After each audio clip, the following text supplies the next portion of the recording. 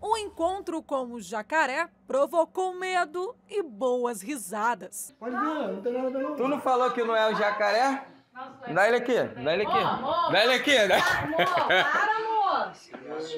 O animal silvestre estava escondido embaixo do sofá de uma das casas deste conjunto habitacional do Parque Santa Clara, na região de Guarulhos, em Campos. O surgimento do animal está dando o que falar na cidade. E aqui na região onde ele foi encontrado, os moradores estão com medo de receber uma visita indesejada de um jacaré. E qual seria a sua reação caso desse de cara com um animal como esse? Eu simplesmente ia chamar a proteção do animal, né? Porque a gente fica apavorado dentro de casa, um jacaré embaixo da cama. Já pensou, seu filho? É, fiquei assustada, né? Eu ia correr. Eu ficaria sem reação. Não sabia o que iria fazer. Só entrar em choque. Gente, não sei, seria de pavor total, porque eu ficaria apavorada. Simplesmente eu ia sair de casa, deixar ele lá e ir embora. E eu vim conhecer os dois homens que enfrentaram o tão temido filhote de jacaré. Foram eles Fábio e Alexandre, vizinhos da família que encontraram esse jacaré escondido embaixo do sofá. No primeiro momento, foi você, Fábio, que foi chamado por esse vizinho que tomou um grande susto com o jacaré. Sim, o vizinho chegou lá em casa apavorado, com os olhos arregalados, parecia que estava desesperado, dizendo: tem um jacaré lá em casa. Aí a gente imaginou que era um jacaré enorme, né? A gente foi pensando que era um crocodilo. Todo mundo com muito medo.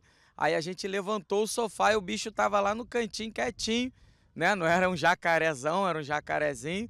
Aí o meu amigo Alexandre foi, é, prendeu ele com a vassoura, a cabeça dele, aí pegou ele pela cauda e pela cabeça e a gente buscou ajuda para saber o que fazer com ele. E estamos aguardando aí para alguém vir recolher esse animal aí para a gente não tá sem saber o que fazer ainda com ele. E o Fábio também estava com medo, porque nunca tinha passado por uma situação como essa, e por isso ele pediu ajuda do seu vizinho que estava lá na casa dele, também nesse momento, do Alexandre. E você já passou por algo assim, então você teve destreza na hora de segurar o filhote de jacaré. É, mas foi simples, né? Só com a vassoura, apanhamos ele pela cauda e pela cabeça, nos retiramos e estamos aguardando agora as autoridades virem apanhar ele. É, o indivíduo que foi encontrado, ele é um jovem, deve ter mais ou menos um, dois anos de idade, né? Está no período em que eles costumam procurar outras lagoas, outros rios para poder povoar, né? Para dispersar a população. E nesse momento que eles estão se deslocando, essa época do ano que chove bastante, que está até um pouco começando a ficar mais quente, é o momento que eles acabam encontrando, infelizmente, uma casa, uma estrada e a população se depara com esses indivíduos. Mas é um indivíduo jovem ali de jacaré do papo amarelo, né, a única espécie que ocorre aqui na região, que estava simplesmente se deslocando entre uma lagoa e outra. E aqui na região as pessoas estão com medo de, de repente, se depararem com mais um animal, é isso? Sim, realmente, onde está um filhote, né, tem vários, né? Aí tem um casal, né, pastor Fábio? É, né? Então, com medo estão com muito medo de aparecer a mãe, o pai quem sabe até os irmãos, né? O, a, o pessoal tá apavorado, tá com muito medo mesmo. Imagina você tá assistindo o balanço geral e parece um jacaré debaixo do sofá. Esses indivíduos, principalmente esses indivíduos jovens desse tamanho, não oferecem risco para a população, né? Como todos os animais silvestres, eles vão tentar se proteger, se defender. Então, numa situação em que o animal está acuado, que ele se sente ameaçado, ele pode fazer uma posição que que defensiva de, de ataque, né, digamos assim, mas não é um animal que vai perseguir, que vai correr atrás de alguém, como as pessoas costumam falar, é um animal que não oferece risco. É, nessa idade, como é um animal um pouquinho mais velho, ele não está mais com, com a mãe. Né? Os, os jacarés filhotes ficam ainda um tempo com a mãe, ali alguns meses, e ela protege esses filhotes, protege os ovos, mas não é o caso. Nesse tamanho, como é um bicho com mais de um ano de idade, ele já está por conta própria na natureza. O conjunto habitacional fica próximo a uma lagoa, que pode ser a antiga casa do pequeno jacaré.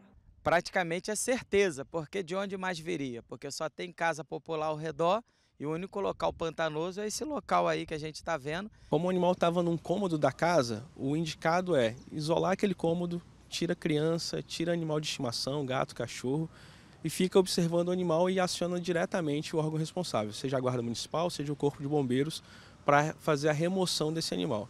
Nunca tentar manipular, nunca tentar conter, prender esse animal, chegar com alguém perto para tirar uma foto de repente ou olhar mais de perto, porque é nesses momentos que o acidente acontece. Precisa ter uma consciência de proteção, né? Porque infelizmente ainda há uma caça que tem devastado e eliminado muito dessas espécies aqui na região.